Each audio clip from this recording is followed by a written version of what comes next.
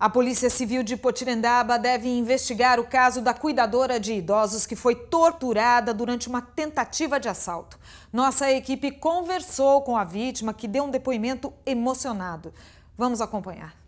Thelma ainda está em choque e mostra as marcas que ficaram pelo corpo por conta da tortura que viveu.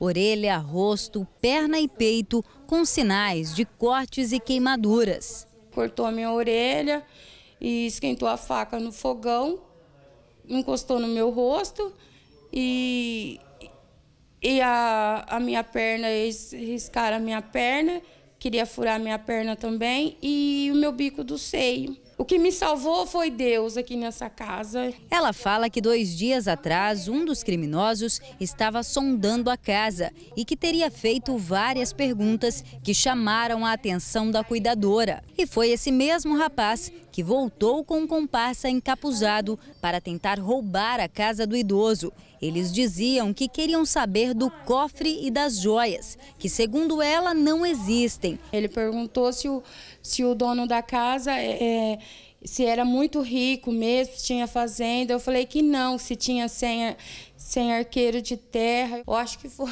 um dos dias mais horríveis que eu passei na minha vida. Por 20 minutos, a cuidadora ficou em poder dos bandidos. Um deles, que parecia estar mais alterado, foi quem a deixou toda machucada. O idoso estava dormindo no momento do crime e ficou assustado quando viu o estado da funcionária. E o crime não aconteceu em nenhuma região periférica ou pouco movimentada. Foi bem aqui no centro de Potirendaba, em frente à Igreja Matriz, na principal avenida da cidade. Eu passei mal o dia todo e, e, e, e pensei alguma coisa, mas não tem prova. Não abriu uma gaveta, não abriu um guarda-roupa, não fez nada. E eu achei muito estranho isso aí, mas muito mesmo. Se eles vêm atrás dessas coisas aí, tinha que ver o gaveta, tinha que remexer em tudo.